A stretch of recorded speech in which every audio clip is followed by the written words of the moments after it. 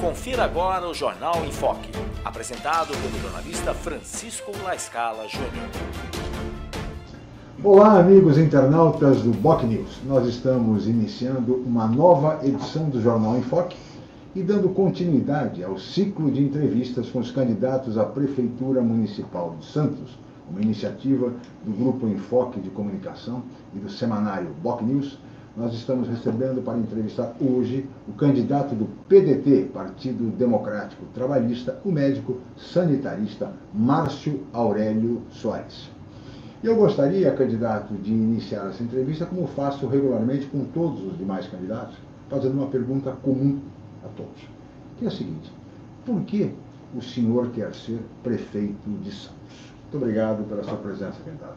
Eu que agradeço o convite a você, Lascala, um alô a todo o pessoal da produção aqui do Boco News. Isso é uma, isso é uma oportunidade ímpar né? para fomentar e consolidar o debate que é democrático. Né? Ah, claro. As eleições não são uma festa cívica também, né? Lembra que sempre não fica meio que emocionado. As pessoas criminalizam um pouco a política, mas na hora da eleição dá aquele frisson assim de lá apertar a urna. Isso claro, é muito legal, né? Claro, Esse sim. patriotismo não é, mas verdadeiro, verdadeiramente cívico e social, né? Isso é muito bacana. Eu entrei na política muito jovem, com 18, 19 anos, né?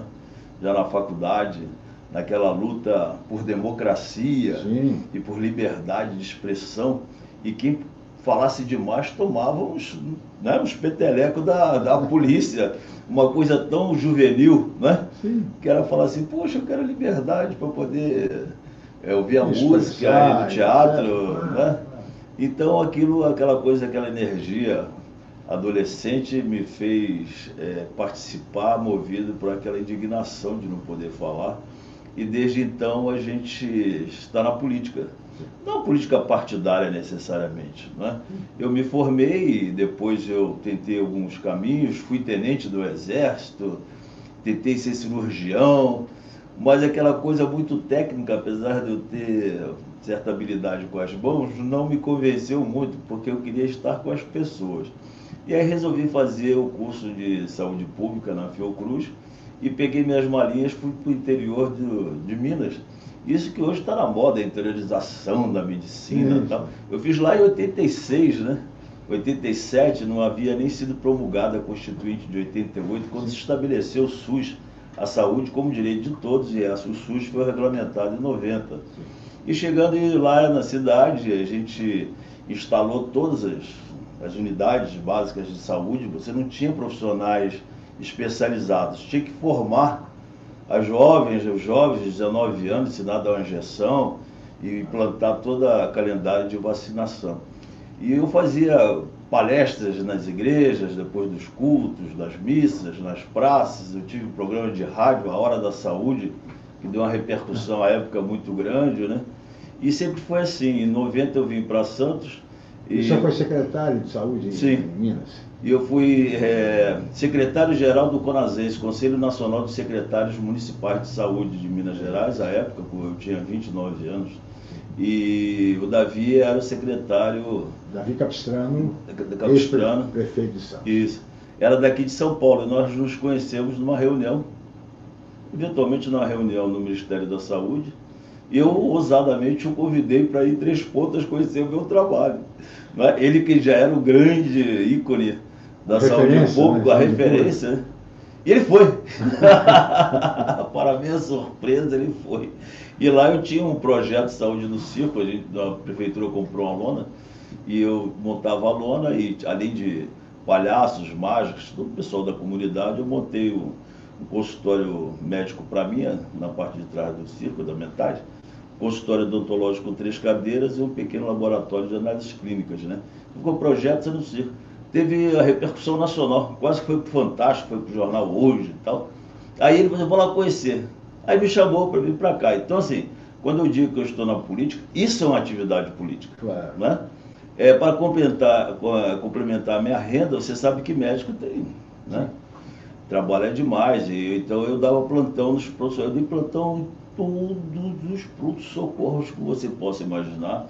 Eu diria que da Baixada Santista. Muitas vezes eu saía quinta-feira, voltava terça.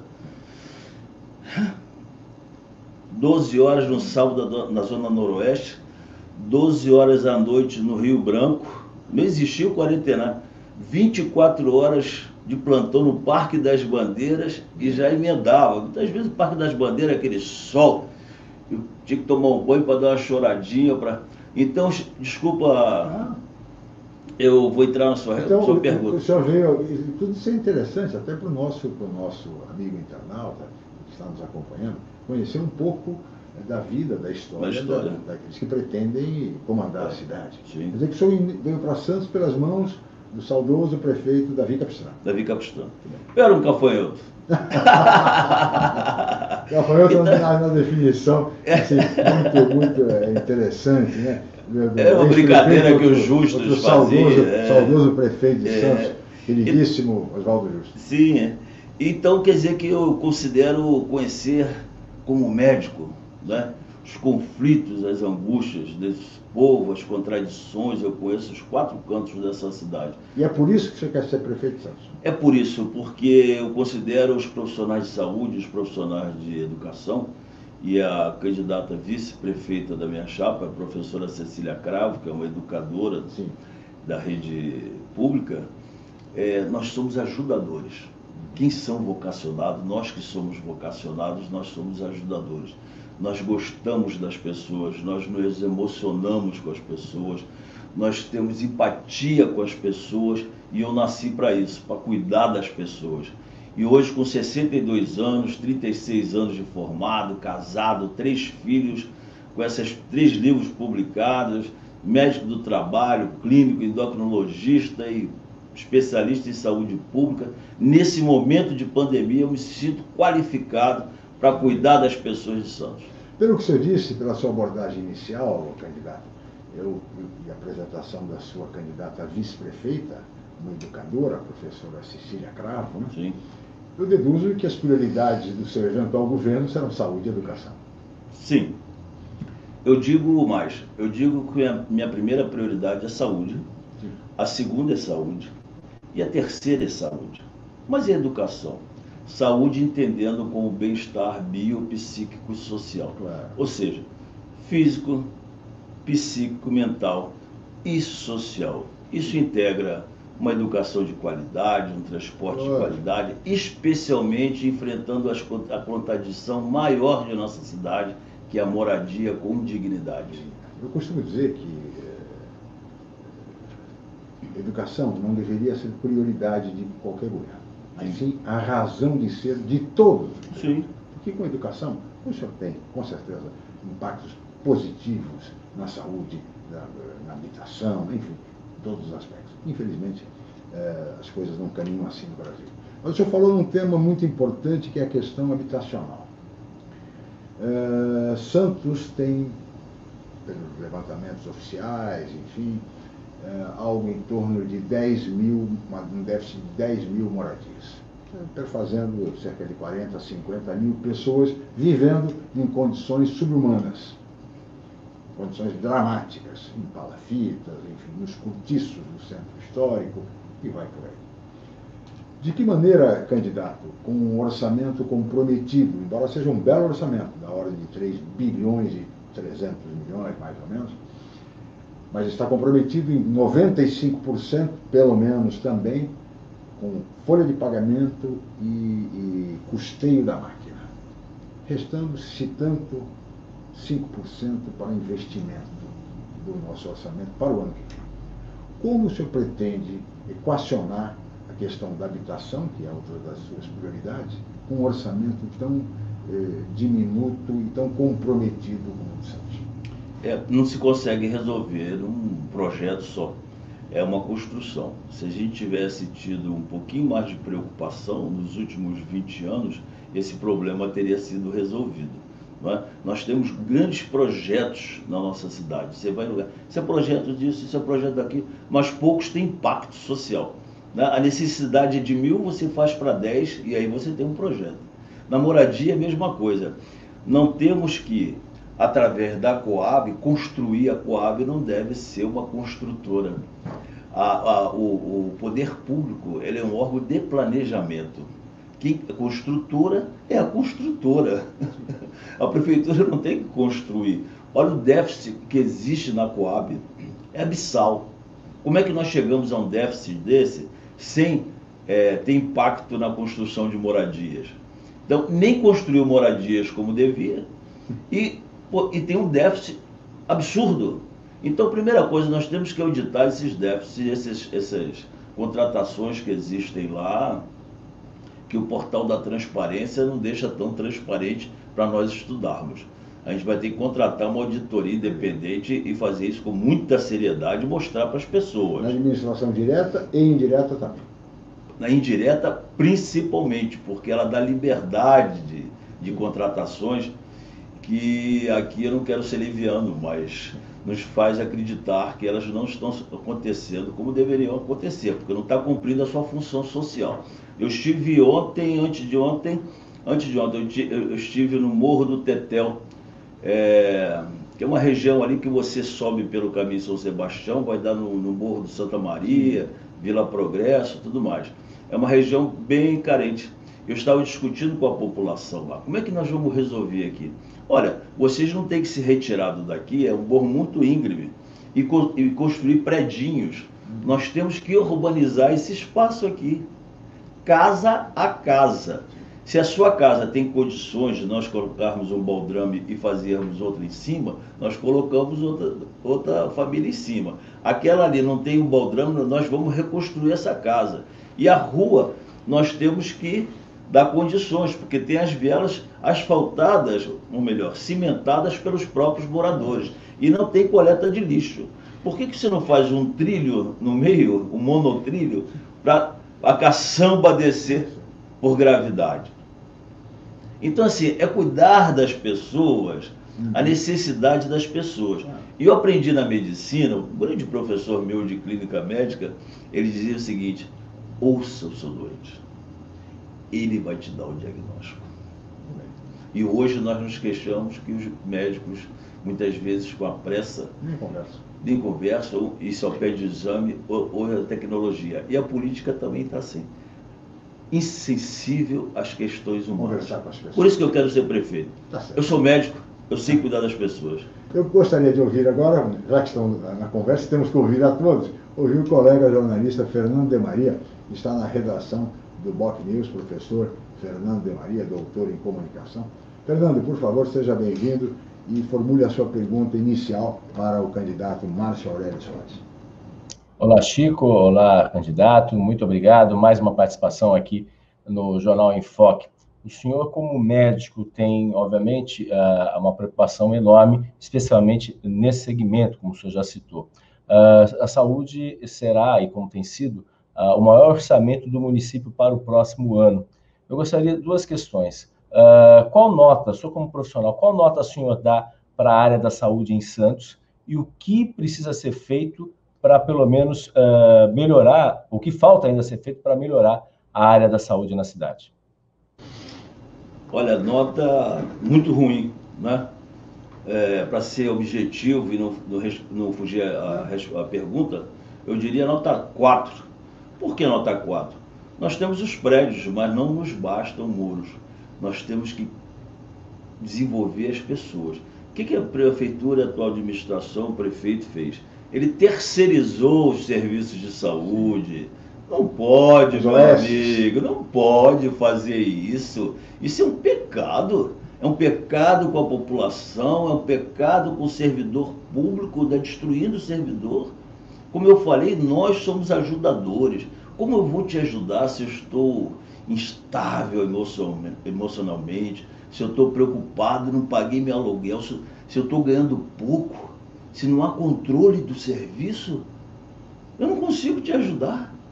Eu tenho que ter o servidor público. Uh, um dos princípios do, do, serviço, do serviço público é a impessoalidade, a imparcialidade e a publicização dos serviços que estão sendo prestados.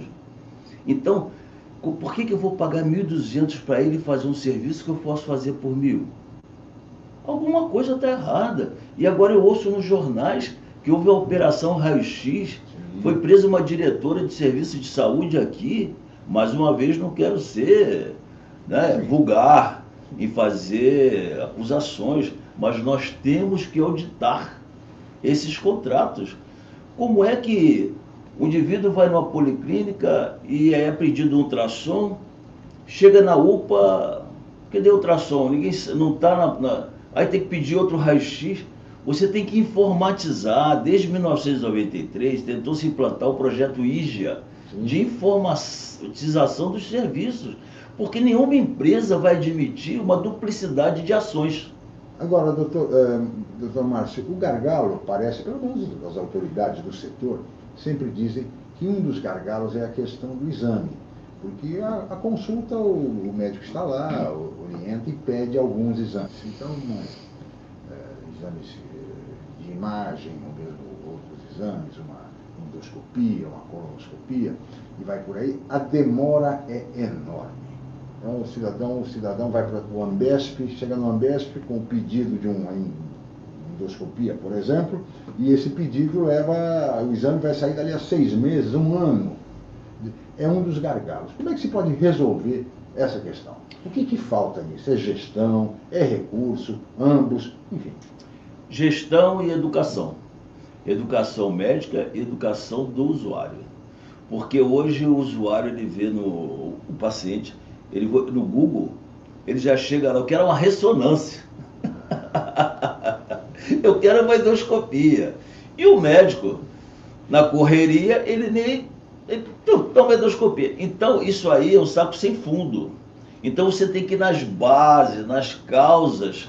Lógico, você não vai resolver de hora para noite, mas eu tive um grande professor também, presidente da Sociedade Brasileira de Clínica Médica, que ele dizia o seguinte: 80% dos problemas clínicos, um bom médico com formação geral resolve. 10% são casos especiais, você encaminha para o especialista.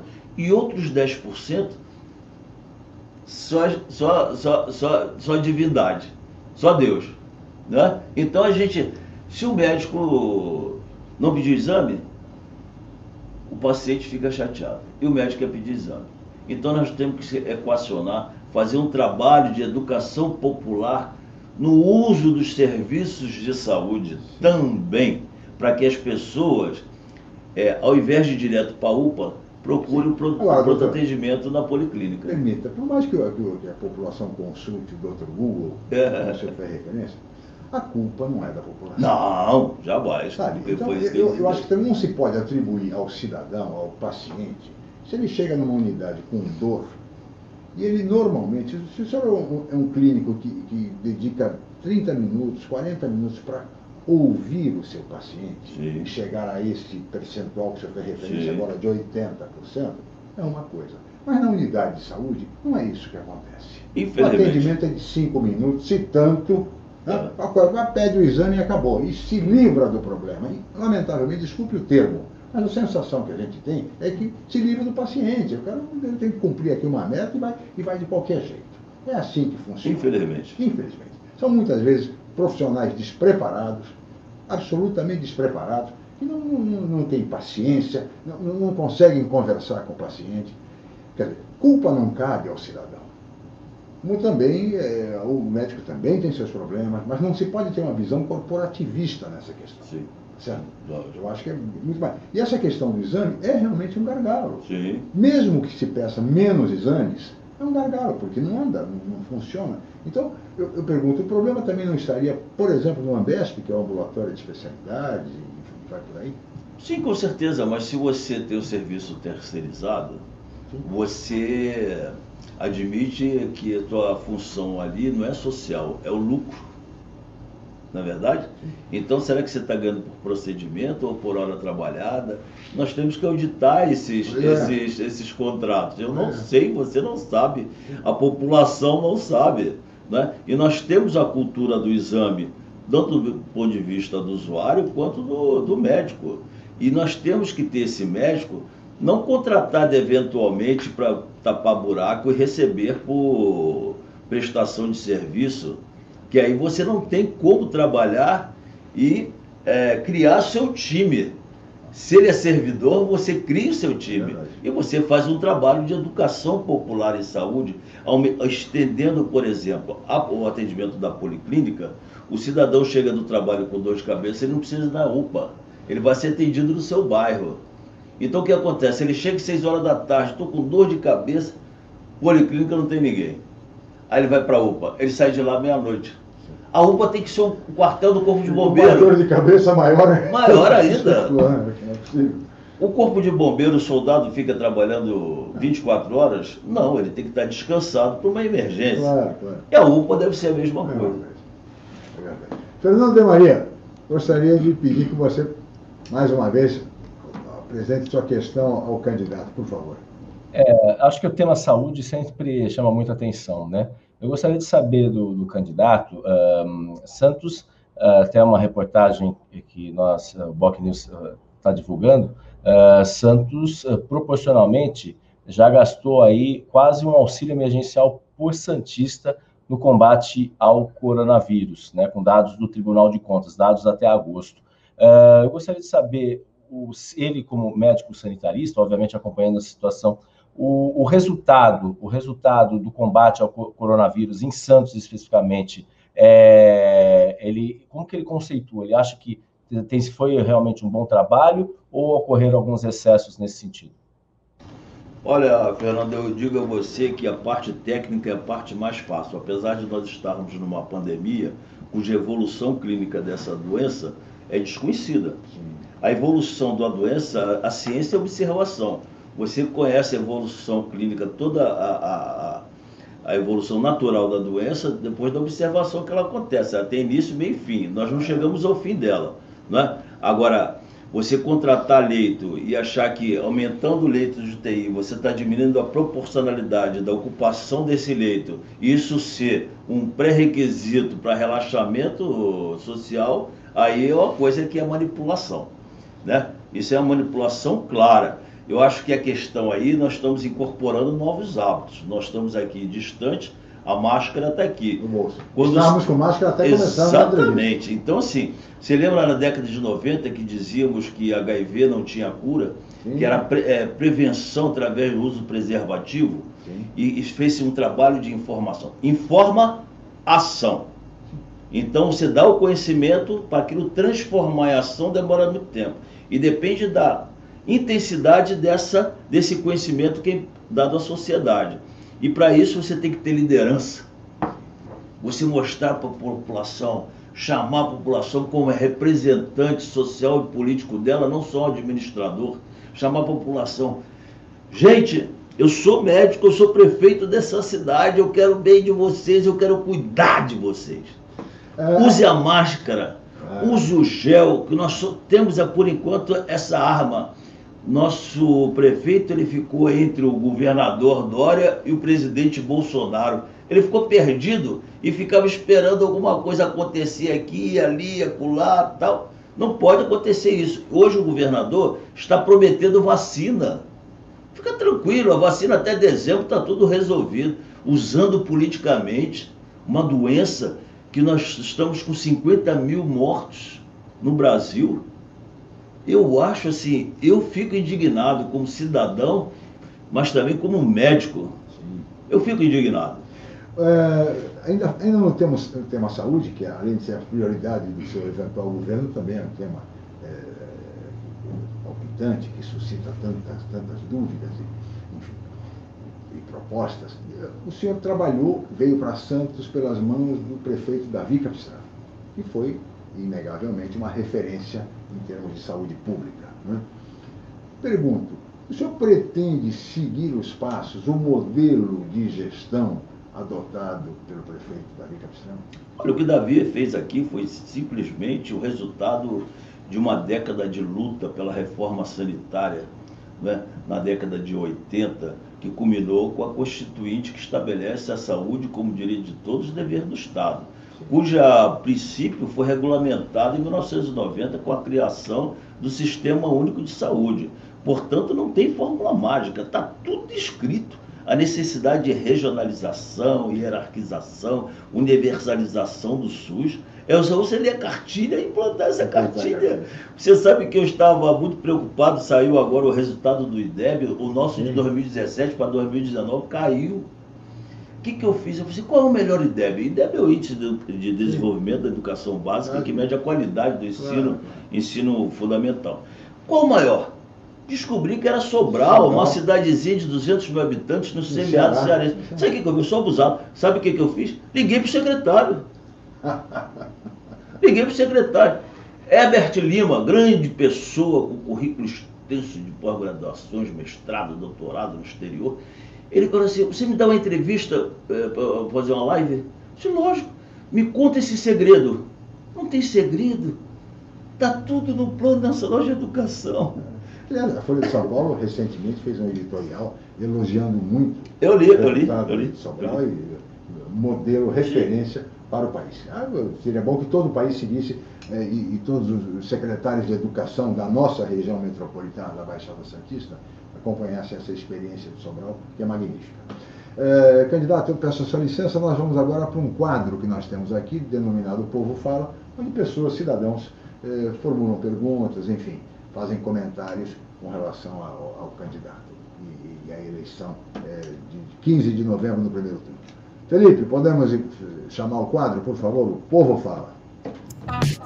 Vamos ver.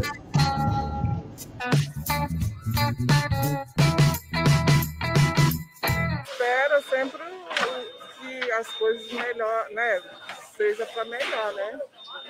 E as escolas, né? tem cada vez seja melhor né, para as crianças. Eu espero do nosso prefeito de Santos que olhe mais para a saúde pública na Baixada Santista, que está precisando. A saúde é prioridade de todos. É isso que eu espero. Que seja um prefeito decente, um prefeito que também olhe para, para as periferias de Santos, que eles só vão nas periferias de 4 em 4 anos, às vezes só para mentir. É isso. Aí está uh, candidato a Lúcia falando sobre educação, né? e o Nivaldo falando também de saúde, dizer, saúde, preocupado com a periferia, exatamente o que o senhor bem dizendo. Por favor. Sim, se pegar historicamente, as pesquisas mostram a primeira preocupação do eleitor é sempre com a saúde. E é muito compreensível, porque é o instinto de sobrevivência do ser humano que fala maior. Né? E, e as mães, como protetoras e provedoras do lar, preocupado com a educação dos seus filhos. Né?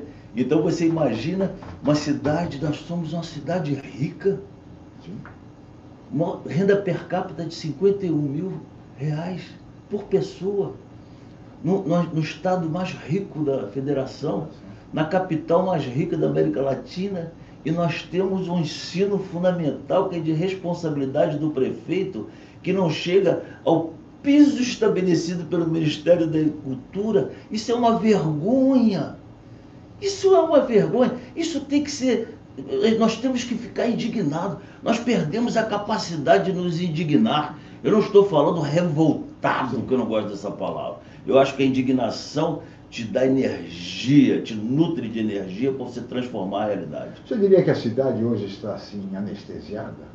Eu acho que o povo brasileiro está anestesiado. E começamos aqui antes, antes de começar o programa, é, eu sou muito entusiasmado, né? Eu gosto de bandeira, eu gosto desse movimento cívico, eu gosto democrático, eu gosto de conversar com quem discorda de mim, Sim. quem diverge de mim, melhor dizendo, para ver o debate. Claro. Hoje as pessoas, você tem que concordar comigo, então você não presta. Não pode. a marca registrada é intolerância. É, mas não pode, não você pode. tem que ser tolerante com os seus amigos. Claro, eu vejo famílias aí se destruindo. E eu seria um candidato, eu sou candidato de um partido, por, e porque eu tirei partido. Nós não, tivemos várias propostas de nos coligar. Não, mas eu tenho um partido, eu tenho um partido. Eu tirei partido. Por que, que eu vou coligar com você que passou a vida inteirinha apoiando a prefeitura e o outro que. Não tem sentido isso. Falando nessa questão é, político-eleitoral, candidato, é, Santos apresenta um recorde histórico este ano com 16 candidatos à prefeitura. Né? É, um número elevado. e que temos aí pelo menos meia dúzia de candidatos da, do chamado campo da esquerda e mais ou menos uma meia dúzia do campo da direita, e alguns de centro, enfim. Pelo menos se rotulam e se apresentam dessa forma. O senhor é um candidato de um partido que, claro, partido de centro-esquerda, o PDT de Leonel Brizola, Ciro Gomes e tudo mais. Pergunto ao senhor, é, não houve condição de se estabelecer uma unidade, a chamada frente de esquerda, para enfrentar, enfim, as candidaturas de direita? Sim. Olha, eu sou filho de Getúlio. Meu pai hum. faleceu há três anos atrás, se chamava Getúlio. Gaúcho. E foi batizado por Getúlio Vargas. Eu tenho um busto de bronze na nossa família desde a década de 40, então, portanto, antes de eu nascer, de Getúlio Vargas. Eu herdei esse, esse busto. Então, você estudando as causas trabalhistas, desde lá de Júlio de Castilhos, no Rio Grande do Sul, né, você sabe que quem inaugurou o Estado brasileiro foi Getúlio Vargas, em 1930, né, com a Constituição da... o fundador do Estado brasileiro. Fundador do Estado brasileiro, das instituições sim, sim. públicas, né? Depois de Jango, Brizola, com todo o trabalho. Eu cheguei a trabalhar no governo Brizola lá no primeiro ano de formado. Então, assim, a gente tem um, tem um partido, né? Sim. E nesse momento você tem que defender as ideias do seu partido. Porque senão você já poderia ter sido unificado todas essas, essas ideias e ter montado o partido antes. Então, portanto, no segundo turno, eu acho muito importante que tenha essa quantidade toda claro. de candidato a prefeito. Porque devem ter visões diferentes, pelo menos das minhas. Eu não procurei nenhum partido para me coligar. Sem dúvida nenhuma. Queria chamar o Fernando para participar mais uma vez. Fernando de Maria, por favor. Até pegando esse gancho que vocês estão comentando, eh, Chico, o, o ex-ministro, obviamente, o Ciro Gomes, ele, ele foi ter uma votação expressiva em Santos em 2018. Ele ficou em segundo lugar em Santos. Gostaria de saber do candidato qual vai ser a participação, se é que vai ter, a participação do, do Ciro Gomes na campanha aí uh, do senhor. É, ele é um grande líder popular do nosso partido. Nosso presidente é Carlos Lupe e nossa vice-presidente feminina é Miguelina Vecchio, né, da Ação da Mulher Trabalhista. Ele é um dos vice-presidentes e já se coloca à disposição para as eleições de 22 através do nosso partido. Certamente nós já estamos, já me apoia porque nós o conhecemos. E eu trouxe o Ciro Gomes aqui em Santos a primeira vez em 2017, quando nós o levamos na Unisanta para uma palestra. Então nosso contato é sempre permanente na medida do possível da agenda dele, naturalmente. É, ainda no gancho da política, candidato, como será, como se dará o seu relacionamento com a Câmara Municipal de Santos? Já que a PDT, obviamente, terá candidatos à vereança, mas eh, o PDT não tem sido muito feliz nas eleições e não consegue eh, formar bancadas, enfim. Como será a sua relação com o Legislativo? O PDT vem passando nesses últimos quatro anos uma reconstrução, uma restauração dos seus ideais trabalhistas né, que se perdeu um pouco a de confessar com a morte do Brizola, muitas vezes, nós não tivemos aquela capilaridade toda. Né? Então, assim, nós temos uma chapa muito boa de professores, da, da pessoal da área da cultura, líderes comunitários, bem consistentes, eu tenho certeza que nós vamos fazer pelo menos um de dois a três candidatos aí. É, mas eu, eu acho que, ótimo que se eles é, fossem eleitos, certamente nós não faremos maioria nesse sentido, né? Sim. Mas eu acho que a função da Câmara é de fiscalização do prefeito. Sim. Eu quero ser fiscalizado.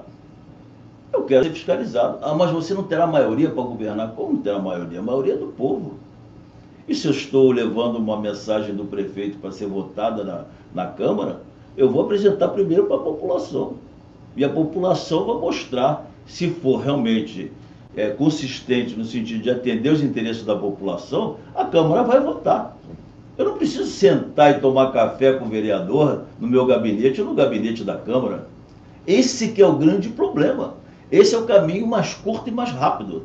Nós temos que tomar café na Praça Mauá. Na Praça Mauá, Praça do Povo, como o céu do avião. Essa politicagem é que destrói todos os caminhos de construir uma democracia sólida e um caminho, Sim. planejamento, porque nossa cidade precisa do planejamento. A Associação Comercial de Santos fez um belo trabalho com o Conselho de Desenvolvimento Econômico de Sim. Santos e nós participamos disso e fui lá, me coloquei à disposição por omissão da administração pública. Eu quero fazer uma coisa ali. Não, conversa com o vereador, toma um café lá, já resolve tudo. E a população fica absorta. Está vendo agora o incinerador? Esse assodamento para provar. Aliás, a audiência pública ontem foi bastante concorrida. E eu me inscrevi, ah, inclusive para falar, mas eu estava numa reunião no Caruara, infelizmente, absolutamente ilhado sem internet. Quando eu cheguei em casa, aí que eu fui assistir e tal. Mas assim, as outras daqui municipal eu participei. Mas não tem que ser virtual. Isso aí tem que passar uns seis meses discutindo na praça pública com toda a imprensa por que fazer isso assim? De uma hora para outra? É lógico que o Sítio das Neves está Tem saturando. Uma série de lixo. Sim, mas por que não fazer isso com forma cuidadosa, democrática, transparente? transparente? Ah, a propósito, é, candidato, é, nós vivemos numa região metropolitana primeira, inclusive, do Brasil, sem ser capital, e já há muitos anos funcionando. Não funciona tão bem assim, é mais uma fogueira de vaidade do que propriamente um organismo que pense, que planeje, que execute aquilo que a região precisa. Eu queria colocar ao senhor o seguinte: é, as cidades da Baixada têm problemas comuns. O lixo é um deles. Sim. Habitação, saúde, mobilidade urbana, entre tantos outros. Afinal, estamos em uma região conurbada. Ação social.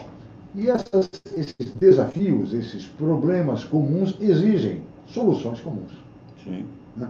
De que maneira o senhor eleito prefeito pretende é, levar adiante essa ideia, que é uma ideia em tese muito boa, de metropolização, de uma região de fato metropolitana? Com liderança. Essa é a única palavra que pode interpretar o que a gente pensa em relação a isso mais uma vez. Você sem liderança e capacidade de religar, reunir as pessoas, você não vai conseguir fazer isso dentro do seu gabinete, disputando interesses e vaidades pessoais e partidárias. Se você tem liderança com a população, se você tem liderança com os, com os representantes municipais, os líderes políticos, você pode desenvolver um projeto não só com a classe política, mas também com toda a sociedade, com os empresários, com o Sindicato da Construção Civil, com as empresas é, é, de saúde, na área da saúde. Como é que você pode imaginar uma pessoa, como eu disse, faz uma ressonância magnética, que é um exame caro, lá na Praia Grande, eventualmente ele está aqui, passa mal, Cadê a ressonância magnética? Não, está lá no. Mas é tão fácil você ter esses dados amplificados para toda a região. Mas essa é uma visão metropolitana. Sim. E não acontece. Não acontece, porque ele diz assim, ó, você é de outro Só partido. fala em liderança. O prefeito de Santos pode ter liderança, mas ele precisa se relacionar bem com o prefeito de São Vicente, com o prefeito do Guarujá, com o prefeito de Cubatão, etc. Sim, mas se você apresenta um projeto, desculpa, você apresenta um projeto de informatização, Olha, esse programa aqui tem essa empresa.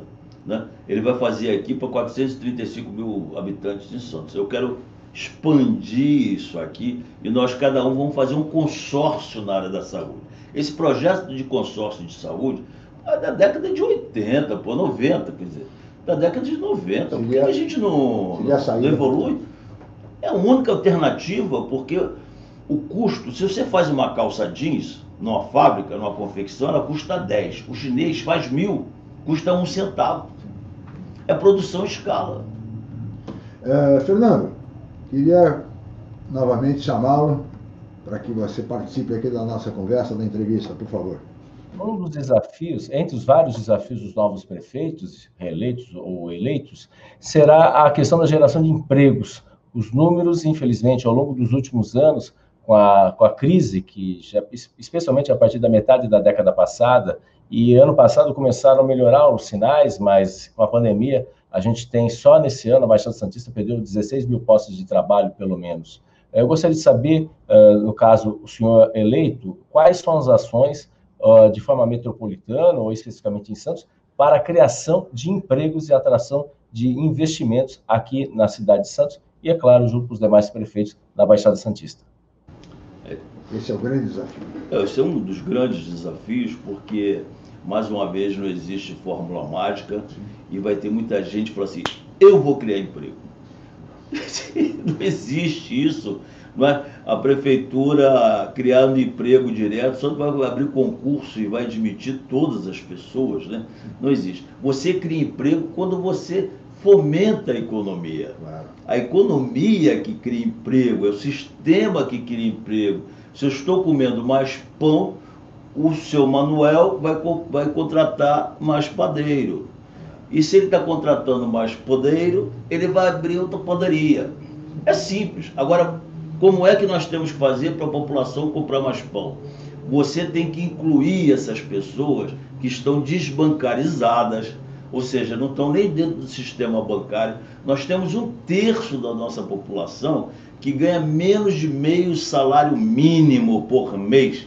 E isso está escrito lá no site, BGE barra cidade barra Santos. Não é sou eu, Márcio Aurélio, que está falando. Sim. Eu sou um médico, eu não tenho nada de economia, mas eu entendo de gente. Né? Eu conheço a palafita, eu sei do que as necessidades das pessoas. Muitas vezes ela só quer uma tesoura para cortar cabelo e poder ter renda e uhum. comprar um pau. E ela vai gerar emprego. Mas essas pessoas são invisíveis. E sabe como é que a gente vai fazer para facilitar ela comprar uma, poder comprar uma tesoura? Nós vamos criar um banco. Nós vamos criar um banco. Mas que pretensão, doutor Márcio Aurélio, criar um banco, você agora é banqueiro, disputar com o Banco do Brasil? Não. Nós vamos criar um Banco Municipal de Desenvolvimento Comunitário, Caiçara. Essa é uma proposta que surgiu lá com Robert Owen em 1843 na Inglaterra e que em 1977 um Bangladesh, é, é, de Bangladesh, um professor de economia, Mohamed Yunus, ele desenvolveu essa ideia na década de 70 ele ganhou o prêmio Nobel de Economia em 2006, é chamado Banqueiro dos Pobres. E aqui na periferia de Fortaleza, em Jardim Palmeira, o Joaquim II, que inclusive já entrevistei também, participou, da, me ajudou na construção dessa ideia, ele desenvolveu o Banco Palmas. E com, agora com a regularização dessas fintechs, ele tem o dinheiro, tem cartão de débito. Então você pode emprestar dinheiro para as pessoas de forma solidária, com cinco pessoas amigas, você empresta 500 reais, o pedreiro compra uma pá, ele pode construir um muro e criar, fomentar a economia, a microeconomia, e você insere um terço da população.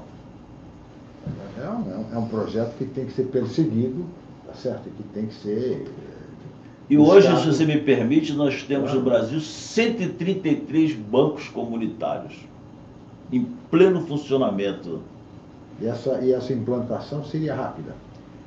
É imediata. Você tem que trabalhar a população. E os recursos para Os recursos vêm do, da Secretaria de Desenvolvimento Social. Esse banco pode ser criado através de uma fundação e o próprio empresariado investir. São recursos é, não são milhões de dólares. Não são milhões de dólares para construir um viaduto. Claro. Ah, Você entende, não? Quer dizer, é, é, importante o viaduto, não é? Claro. Mas as pessoas, ligar as pessoas, fazer uma ponte com as pessoas, eu vejo que é muito mais importante, porque são vidas. Sim.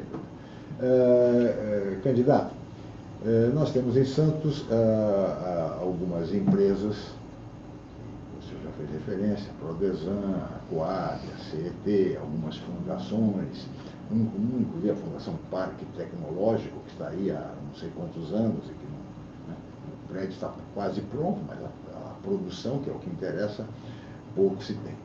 É, pergunto ao senhor, qual será a sua política do ponto de vista administrativo?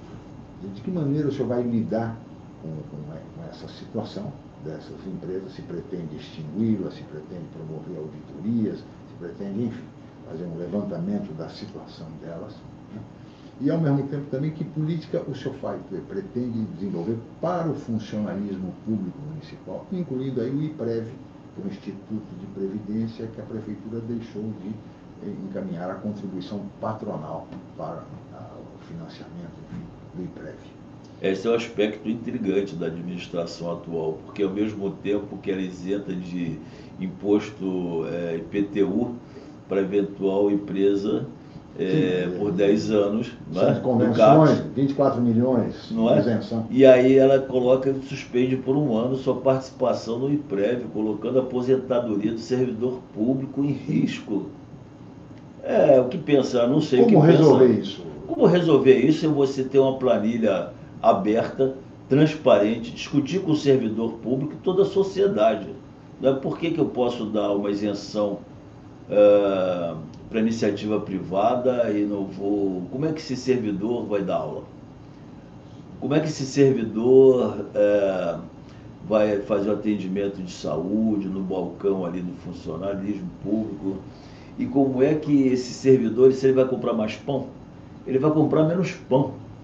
Concorda? E aí você tem essas empresas, essas autarquias, essas fundações que são verdadeiros vazadouros de recursos públicos, você tem que auditar isso com muita austeridade, muita moralidade, que é um dos princípios do, da, do serviço público. A austeridade, a moralidade, a imparcialidade. Nós temos que lidar com a coisa pública de forma pública e preservando o interesse público. Infelizmente, a nossa democracia ela é muito é, frágil, porque a democracia representativa se dá aqui no caso municipal de quatro em quatro anos, as pessoas vão lá, votam, como se tivesse dado um cheque em branco para o outro fazer o que ele quiser. Nós temos que consolidar a democracia participativa durante todo o cotidiano, toda a rotina, todos os quatro anos, com a participação da população nas principais decisões tomadas pelo, pelo prefeito. É, Fernando, queria mais uma vez que você apresentasse mais uma questão ao candidato, por favor. Candidato, é, indiscutivelmente, a atual administração está entregando uma série de obras, é, enfim, como o senhor próprio comentou agora recentemente. Um dos desafios dos governantes uh, vai, vai, vão um pouco além disso, ou seja, o custeio da máquina pública, né? Como conciliar isso com essa nova realidade, à medida que, obviamente, a própria pandemia uh, já afeta, obviamente, os orçamentos municipais e afetarão ainda mais a partir de 2021, onde os orçamentos certamente estarão bem aquém do que a, a estimativa que gostariam de acontecer. Gostaria, caso o senhor seja eleito, como conciliar isso, porque você, o senhor vai ter um aumento do custeio, por causa de novos empreendimentos, novas obras, e também, por outro lado, uh, um cenário não tão uh, agradável assim, em razão da pandemia. Olha, há uma discussão é, em razão dessa formulação que você está fazendo, porque o primeiro quadrimestre não foi de diminuição do, dos recursos da prefeitura, foram baseados no SS e no IPTU, especialmente da, do Porto. Não é? Naturalmente, a gente sabe que confinamento de três meses, especialmente, é. houve uma diminuição do consumo, mas que está havendo uma revitalização dessa economia no sentido que as pessoas estão voltando a, a consumir. Agora, em relação à máquina pública, a máquina é muito pesada, então alguns aproveitam, é, em vez de é, fazer um diagnóstico dessa questão, tentar destruí-la né? e privatizar tudo. Não é essa a questão, nós temos que tratar isso com moralidade, como eu disse uma Prodesano pode ter um bilhão de, de, de, de dívidas sem produzir nada correspondente a isso. Então está tendo um vazador. Nós temos que fechar esse vazador e, e, fazer isso com muita austeridade, muita responsabilidade, porque o dinheiro público é público. Precisa ser respeitado e preservado. É, candidato, o senhor comentou agora há pouco que esteve em Caruara, né, na área continental de Santos. E a área continental de Santos, todos nós sabemos, é o futuro da nossa cidade. E temos lá uma área de ainda utilizável da ordem de 10%, porque o restante, a 90% da área continental, é área de preservação ambiental. Sim. Mas 10% representam mais ou menos aí quase que o tamanho da ilha onde vivemos, 24, 25 quilômetros quadrados. Pergunto, o senhor tem projetos para a área continental de Santos? Olha, Santos é a cidade mais verticalizada do país. Né? Você tem a quantidade de mais pessoas morando em prédio do que a média nacional, porque as pessoas entendem que só a parte insular da ilha que compõe Santos.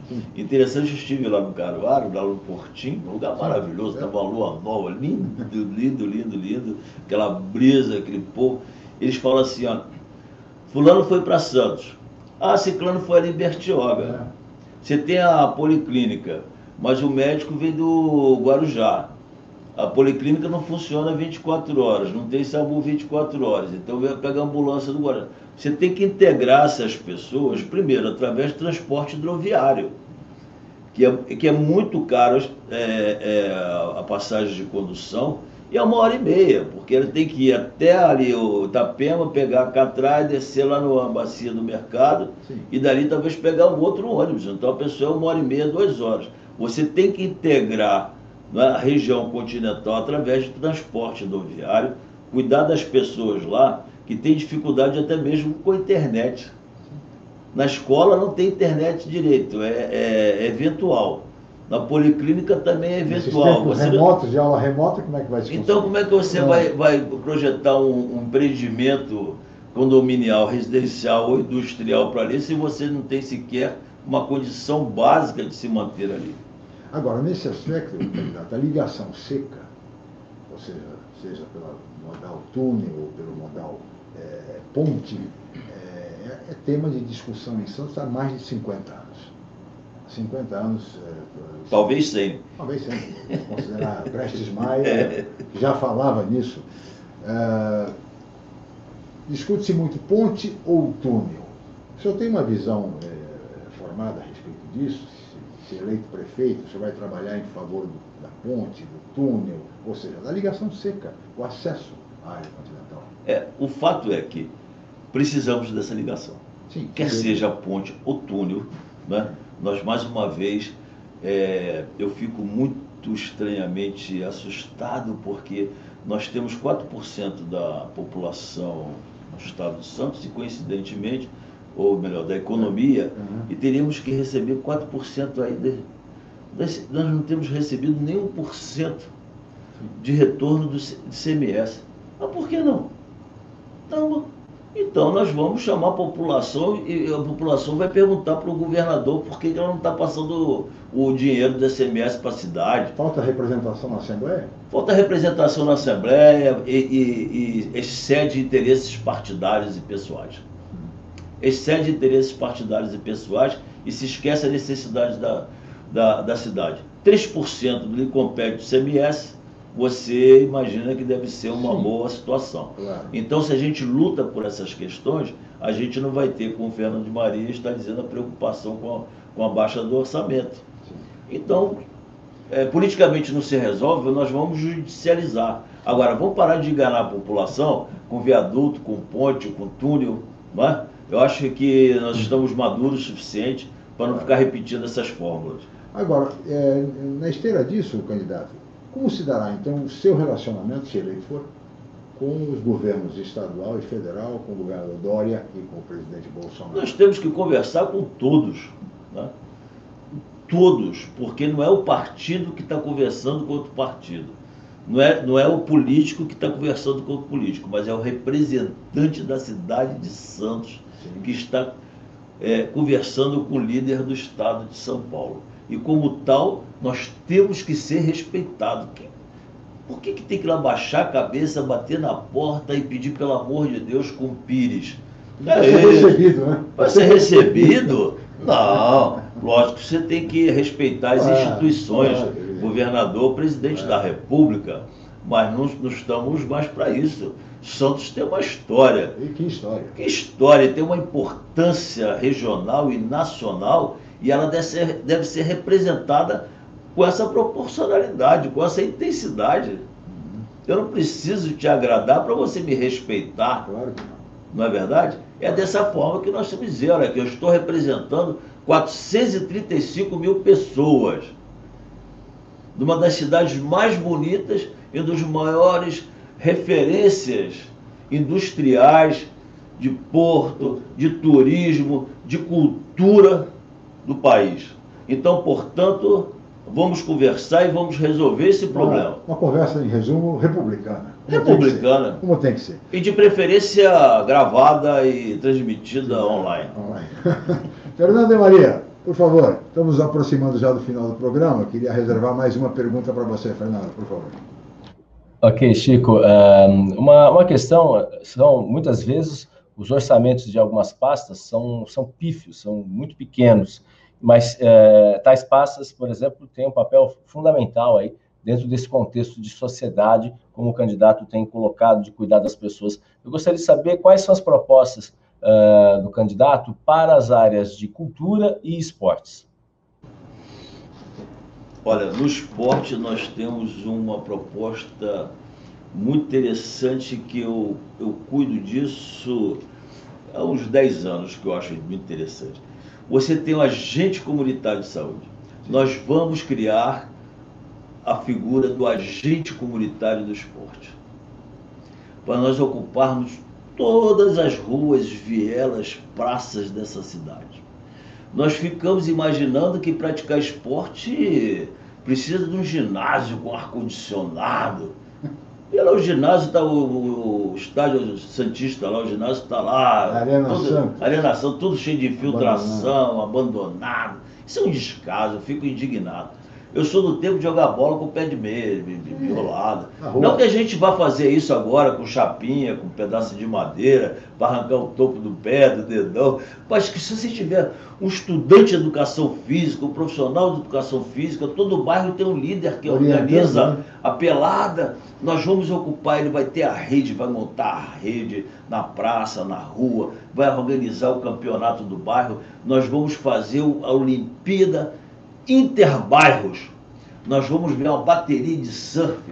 O morador do Boqueirão, da Areia Branca, do Marapé, solta a bateria, vai todo mundo. As torcidas vão fazer uma festa do esporte nessa cidade.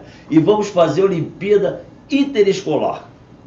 O Azevedo Júnior contra o Benevenuto Madureira e as crianças torcida, porque isso nós precisamos trazer entusiasmo para essa cidade alegria, a manifestação cultural, isso transversalmente com a Secretaria de Cultura, trazendo os rap, hip hop, a cultura hip hop, a MPB resgatando a história da música caiçara. Nós temos que fazer isso com alegria e atrair os jovens. E investimento, candidato, é barato, é pequeno. É muito barato. Né? É muito barato. Basta gostar de gente e gostar de cuidar de gente. É, eh, candidato, nós já estamos nos aproximando do final do programa, passa muito rápido, mas eu queria colocar, assim, eh, no final, uma questão mais política. Primeiro, qual é o seu tempo de televisão? 1 minuto e 18 segundos. É suficiente? Naturalmente não. Mas o presidente Bolsonaro se elegeu com 10 segundos. Mas você sabe que a conjuntura foi absolutamente diferente, onde você era permitido a utilização de robôs, né? com milhares de aparelhos celulares, máquinas, tudo, o que hoje parece que. O tempo de televisão, de qualquer maneira, um minuto e pouco, é, é bem mais do que a maioria dos candidatos que tem 10 segundos, 20 nós, segundos. Nós vamos utilizar muito bem esse um minuto. Outra coisa, a questão dos recursos do fundão, polêmico fundão, fundo eleitoral. O PDT vai destinar recursos para a sua candidatura? Olha, confesso a você e o pessoal de casa até agora não recebeu um tostão, viu? se vai, mas o PDT, se não vai. O PDT participa do fundão. É, participa, mas se vai, se não vai. Eu acho assim que é muito difícil. Não tem reivindicado recurso? É, não. democracia é muito difícil, porque primeiro o vereador ele tem que pagar quase mil reais de contador para poder prestar suas contas. contas né? não é? Você tem que ter um assessor jurídico, um assessor de imprensa, no meu caso um assessor de marketing político, um gestor de redes sociais.